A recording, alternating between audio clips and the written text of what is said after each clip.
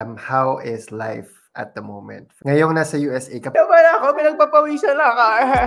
Pilipino kasi parang, wow, American dream. Parang lahat. Parang, alam mo yun, yung parang final end ng nursing ng mga Pinoy is para mapunta ng US. Pero, syempre, may mga ups and downs din yung US na kailangan mong i, you know, pagdaanan. So far Mm. naman dito, okay siya eh. Kapag daw nasa US ka, kailangan mo mag second job, overtime, para maging comfortable ang life mo. Hindi sapat yung isang job lang. Totoo ba yan? Para within 3 months na nasa US ka, bigla kang naoperahan. Oo. Tapos yung kinakatakot ko noon, yung pang bills, sabi ko, oh my God, paano Oo. to? Tapos nung paglabas nung, ano, nung tentative bill sa emergency, parang 10,886. Emergency pa lang yun. Pag-usapan natin yung job. Aka- Akala ko ako lang nakaka-feel na parang sabi ko, bobo ba ako?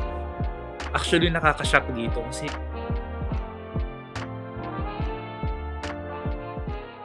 So, welcome to the vlog. Introduce yourself and your clinical nursing experience. Just share mo naman sa amin kung saan ka nag-work, saan ka na napunta, and where you are at the moment. So, ako si Kenneth.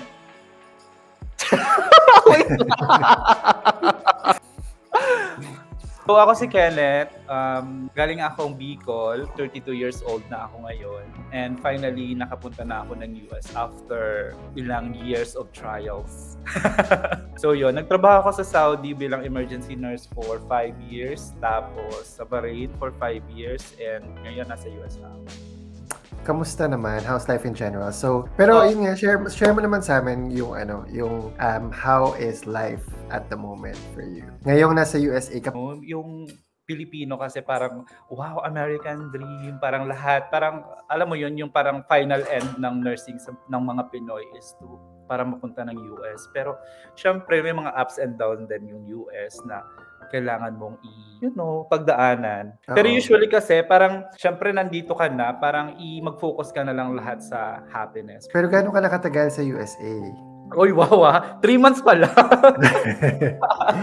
Ah, sa North Carolina. Ah, actually, ang ano ko license ko is Texas. Pero nag ano Mm. ako, nag change of heart ako. Pero yun nga, parang nasa sayo naman yun eh kung ano talaga ang gusto mo. Kasi syempre, um, bago ka mag-apply dito, parang kinoconsider na namin yung cost of living, yung nag-search kami kung ano ba yung mga taxes dito or something. Mm-mm. So yun, medyo maganda naman dito sa North Carolina kasi parang workable naman yung mga taxes, saka yung mga bahay, medyo mura, Mm. pati mga And pagkain. you're working there as an ED nurse, di ba? Yeah, ED nurse. Let's go back to um, go back in time and let's talk about your Saudi days. Bakit mo pala naisip mag-Saudi before? That time kasi parang sa Pinas, nagvo-volunteer ako. Tapos alam mo naman sa Pinas, wala tayo masyadong money. Mm. Money is always an issue. So, lumuwas kami ngayon ng Manila. Mm. That time, parang ang target sana namin Abu Dhabi. Tapos nung nag-ano kami, nagpapa-interview, parang that time, nagsimula na rin yung pagpa-data flow. So, naghanap kami ng iba na walang data flow kasi wala rin naman kaming pera noon. Ini-sponsor lang nga ni Mayor yung ano namin, yung pag luwas namin ng Manila. Ano, talaga mayor? Yes! Kasi dati, Wow. Nag-work kasi kami dati kay Mayor sa operation ano niya, libreng operation program. So kilala namin si Mayor. Ah, So na, parang nag-ano kami ng indigency para makasakay. Pero ordinaryo ba, ordinary bus lang 'yun. Oh my god, as in may katabi kami. talaga? Mm-mm. Actually, after ko ng Saudi, parang nag-iisip ako na sabi ko ayoko na ng Middle East. Pero yun nga, syempre, wala pa akong ano talaga concrete plan na parang okay, nasa isip ko lang na mag ano ako mag UK or some Mm-mm. somewhere na western. Pero yun nga wala talagang plano. Parang hindi ko pa kaya mag IELTS noon tas wala talaga sa focus. Kasi syempre nag-ano din ako. Parang syempre iniisip ko na hindi ako pwedeng mawala ng trabaho kasi kailangan kong magpadala and everything. So hati-hati talaga dapat. So, kailangan dire-diretso. Kaya, while nasa ano ako noon, while nasa Saudi, nag-start na rin ako mag-apply-apply sa work abroad. Tapos yun yung friend Mm. ko, nag-apply din doon sa King Hamad. Na-recommend na nila niya ako doon sa agency. Paglapag na paglapag ko sa Manila, diretso ako doon sa agency. Nagpa-interview ako. Dala-dala ko pa yung maleta doon sa labas ng agency. For Bahrain. Mm, Two months or three months. Tapos ah, talaga? Ang bilis. Mm. So, kwento mo naman sa amin, very briefly lang ulit, yung ano mo, experience mo sa Bahrain. So, ka emergency nurse ako ulit, syempre. Tapos, Mm. ano that time, ah, military hospital, so medyo strict sila pagdating sa mga pa-exit or sa mga, doon? Mm. alam mo yun, Gano'n ka katagal sa Bahrain muna? Inabot din ako ng five years sa Bahrain. Isip ko din na talagang kung ibibigay sa'yo, ibibigay sa'yo. Kasi feeling ko kaya hindi pa ako nakakapag-isip ng ano, ng mag-take ng NCLEX. Kasi nga, syempre, kapos sa pera, parang kailangan mong pagkasyahin na gano'n. Eh, nung naka- nakapunta na ako ng Bahrain, medyo nakaluwag-luwag na sa pera. So, Mm. nakakalaan na ako para sa application ko at the same time sa gasto sa bahay, pagpadala. So, gano'n na. Sa Saudi, ano yung pinakamahirap na kinailangan mong harapin? yung pagsaba ko sa Saudi parang first abroad ko so kailangan talagang super adjust ako sa sa culture tapos yung yung lengguwahe nila na Arabic talagang Mm. eh kadalasan lahat pa hindi nag-English 'di ba so parang sign language lang ginagawa ko para noong mga unang months 'di ba parang Ito yung journey mo. Hi, this is my first time in Saudi Arabia. Yeah. I'm with Latif and this is my friend Donald and Kuya Eman, my cameraman. so hot in here. My hanggang sa yon nung na- natuto na ako mag-Arabic parang yun naging smooth na lahat tapos syempre ang nakatulong pa yung mga friends kasi ang daming Pilipino doon sa Saudi eh halos lahat Mm-mm. so ang saya Mm-mm. lang ng mga experience Okay. After 10 years of your nursing experience in the Middle East, finally, natupad na ang American dream mo. Ewan ko nga ha, napakabilis nung processing ko talaga. Kasi Mm. parang yung NCLEX, hindi naman sa ano, pero parang dahil nga siguro nag enjoy ako ng review, feel, feel ko talaga na papasa ako. Parang usually hindi talaga ako nagbabasa and everything. Pero natapos ko yung buong U World, siguro nakadalawang ulit pa nga ako eh. While nagpa-process din ng ano, ng uh, pre papers, nag ano na rin ako sa kanila ng review. So, yes, I pass. Ah.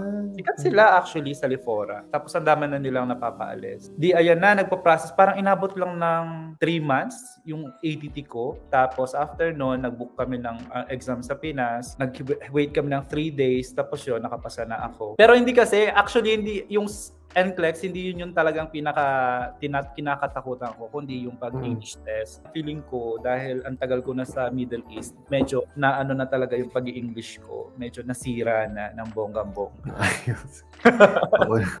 Nung una, IELTS lang talaga. So parang sabi ko, paano ba ako mag-start? Parang ayan na naman ako na parang natatakot na naman ako na paano kaya ako makapasa ng IELTS? Parang hanggang sa nung November, biglang may naka ano sa amin, may nakabalita na, uy, um, ay kahit hindi na IELTS yung kunin mo, pwede nang Oo. PTE. Basta English test din yon na parang computer-based. Pero para siyang ano lang, para lang siyang basic na basic. Oo. So parang doon, sabi ko nga, for the first time, hindi ako nag-review talaga. Parang tatlong araw lang ako nag-review ng mga, ano, mga templates. As in, memorize ko yung mga templates na nakikita ko sa YouTube. Tapos kung ano talaga yung ginagawa nila, kahit repetitive lang, yun lang ang ano ko ginawa. Yun, nag-book ako, tapos yun, pasa naman.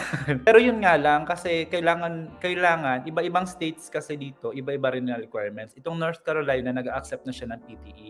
Yung ibang states, hindi pa nag-accept ng PTE. So, pwede, it's either IELTS or OET. So ito na nga, mal- malaki na gastos mo papunta ng US. Oo, actually, malaki.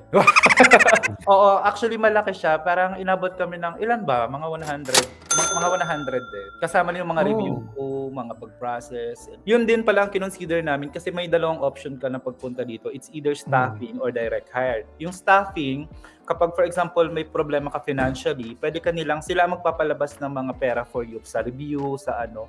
Kaya lang Mm. babawiin nila yun sa sahod mo, may salary reduction ka each ano mo. Pag direct hire ka naman, ikaw yung magpe-finance ng ano mo, ng ng NCLEX mo, ng lahat. Tapos Mm. once na makakuha ka na ng employer, ibabalik nila yun sa iyo once na makarating ka na ng US. The Pagkapasa na pagkapasa ko ng NCLEX, ah, a week no, nag-start na ako agad maghanap ng ano ng hospital na nag-ano ng direct hire. Pag, pagdating nyo, paano yung accommodation nyo? Sino nagbigay? Pero nabad kami ng accommodation for three days. Libre na din yung, ah, ano tawag mo siya? Mga food. Tapos Mm. doon, simula ng pagdating mo dito, yun na yung start ng employment date mo din. So parang bayad ka na that time. Tapos pagkabukas ng bank accounts, dinoposit na lahat ng reimbursement namin doon. Agad-agad. As in, sa first day yun. Tapos ibibigay na rin nila yung ano mo, yung bayad sa apartment mo kasi libre kami for first month. Medyo komplikado dito kasi parang lahat kailangan ng ano SSN that that time yung Hmm. social security number. Eh wala pa kami. So pwede ka lang makapag-reserve. Pag once na ma-reserve mo na sila, kailangan ng ano mo talaga, personal appearance para maibigay sa iyo yung yung apartment. Mag 1.6. 1.6 for one bedroom, di ba? Oo, for one bedroom. Hello! Hello. Welcome back. So ayan. So, right now, bibigyan mo kami ng ano, ng house tour, apartment tour. Parang Oh, so Hindi, yan na yun. So pagpasok mo sa bahay, eto na agad yung makikita mo. So meron kami malaking salamin. Di ba pag, ano, ay pag nag-rent ka ng apartment dyan or bahay, walang laman? Oh, actually ano siya, walang ah, wala masyadong laman pero meron na siyang ah, fridge, meron na siyang oven. ah, so eto nandito na to lahat. Oo. Okay. So ito yun, meron kaming salamin, dispenser, tapos pantry. Ayaw magutom. Tapos yung fridge. Tapos eto, bigay ng mga friends. So, ang mga binili namin, etong mga chair na to, actually, ang maganda dito sa US kasi um, merong mga trip shop na tinatawag. So, kung gusto mo talagang makamura at mga good quality pa naman to, magtsatsaga ka lang sa trip store. So, mabibili mo lang to sa mga like 30 to 45 dollars, yung set na yan. Tapos itong table, parang nabili lang namin ng 20. Parang ganun. Except sa sofa, hindi kami bumibili ng mga, yung mga sofa sa trip store kasi syempre, mahirap linisin. Ayan. Tapos itong TV, nabili lang namin nung black yung sale. Oh. So, ganyan siya. Yung mga halaman ko, ayan. Kasi ang daming mga lalagyanan. Meron pang ganito. oh. Mm-mm. Ito naman yung CR. Yes. Included na ba yung mga ano doon? Yung mga bills? Electricity, gas? Ah, yung electricity separate siya. Pero yung electricity naman dito usually umaabot lang ng yung pinakamataas namin umabot kami ata ng $64.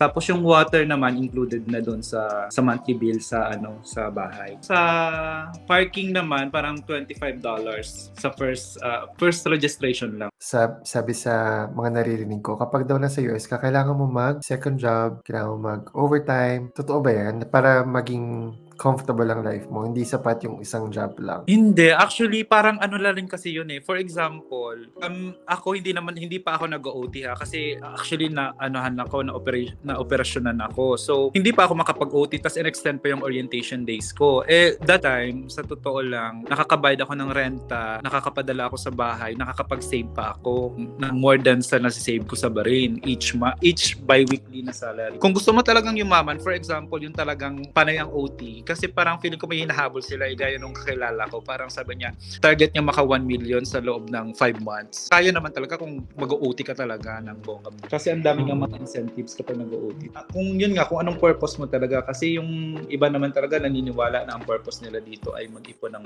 bonggang-bonggang pera. So, pinaprioritize nila yung mag-OT. Eh, yung iba naman na ah, sapat na yung feeling nila nakikita nila. So, habol nila yung balance life. Sa loob ng 3 months, na-operahan ka agad Oo, nag-ilang sa Estados Unidos. appendicitis. Naoperahan ako ng lap AP. Tapos yung kinakatakot ko noon, bukod sa sa family ko, kailangan kong magpaalam na so, so operahan ako, yung takot na baka mamatay na ako doon sa OR table. yung pang bills, sabi ko, oh my God, paano Oo. to? Oo, oo, kasi syempre, first time, first time talagang gagastos ako ng ano, eh health pa naman yung talagang pinaka, pinaka maano daw na, na gagastusan ng kung sino man dito. Ano ko naman do, dire-diretso, wala, wala silang hiningi sa akin, kundi yung insurance card lang, tapos pinapirma-pirma ako ng mga something, tapos proceed sa operation. Tapos nung paglabas nung ano, nung tentative bill sa emergency, parang 10,886. Yes! Emergency ba lang? Emergency pa lang yun. Yung insurance namin is ano, parang kinover niya yung halos 10,000 plus. O, tapos kung admitted ka pa, parang may mga condition na once admitted ka, mawi-waive yung copay. So parang konti na lang babayaran. Na-hospital ka, na-operahan ka, hindi ka makapagtrabaho. Kasi di ba usually sa Middle East, sanay tayo na may, sa isang taon meron tayong 14 days sick leave. Dito wala. Kailangan mong meron kang PTO na tinatawag na parang ma-accumulate mo siya every time na magtatrabaho ka. For example, sa isang week, parang within 3 months nakaipon ako ng 63 hours. Sa loob ng 7 days leave na binigay sa akin ng doktor, apat doon na ah, ano, duty dapat ako. So, kinuha yung PTO ko para ma mabayaran yung absences ko with pay. So, 5 days lang yun. Oo, oh, yun nga. Para kasing ang namin, sa total ng one year mong trabaho, makaka-accumulate ka lang ng 30 days. Na magagamit mo sa annual ano mo, annual leave. No work, no pay ba? No work, no pay naman kasi oh. Unless na i-file mo siya as PTO.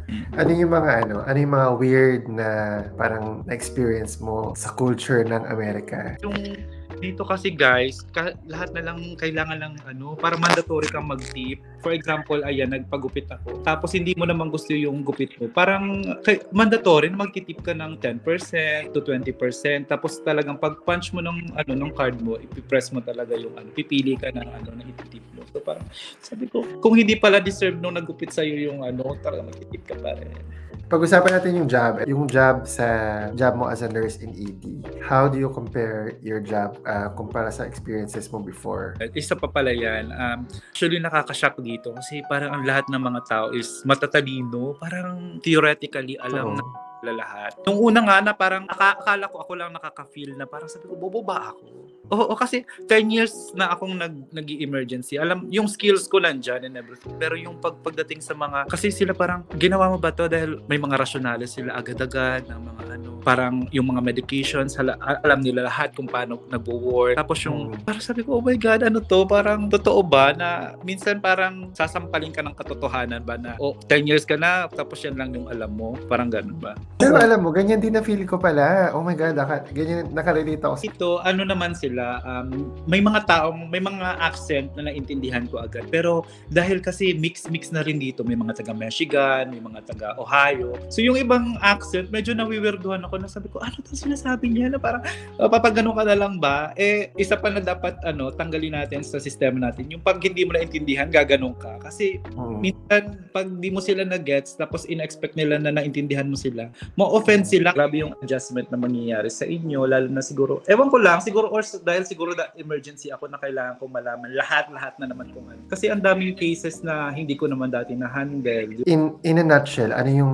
paano yung, how, how does your day goes? And de kapag ano, kasi iba-ibang area namin sa ano eh, may PEDS, may fast track. Pero ang pinaka-challenging talaga yung Resus. Yung Resus kasi parang yun na yung talagang fif- nag-50-50 ng mga Hmm. rotate kami. Oo. Hindi naman pwedeng palagi ka lang sa Resus kasi mamamatay ka talaga.